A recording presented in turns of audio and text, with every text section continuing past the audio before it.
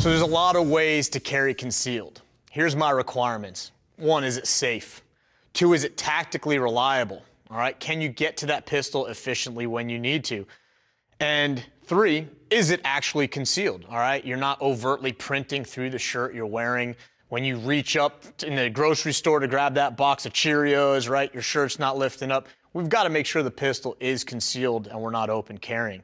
And one of those ways is appendix carry.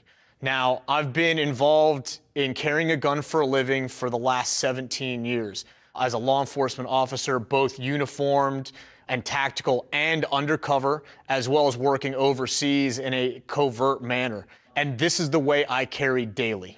It's very, very controllable, it's very safe, and it's very reliable. I can get to the pistol with either hand. I know where the pistol is at at all times. No one can sneak up behind me and touch it. It's right here, where, right in my center line where I need to be and where I need to fight to that pistol. All right, so I'm running the Smith & Wesson Shield. All right, it's got a Crimson Trace laser on it.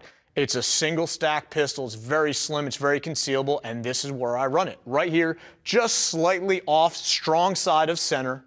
This is not an overtly extremely large shirt. I wear it with t-shirts. I'll even wear it with a suit and tie with my dress shirt tucked in. The second you raise your arms, the shirt blouses, can't even tell the pistol is there.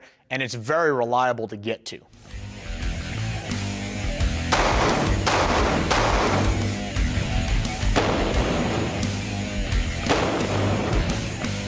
So as you can see, appendix carry, it's very efficient, very quick, and very safe. Uh, a lot of people worry about having that pistol there, especially guys, and you can understand why, but it's very safe. I've been carrying this way for years in all different sorts of scenarios.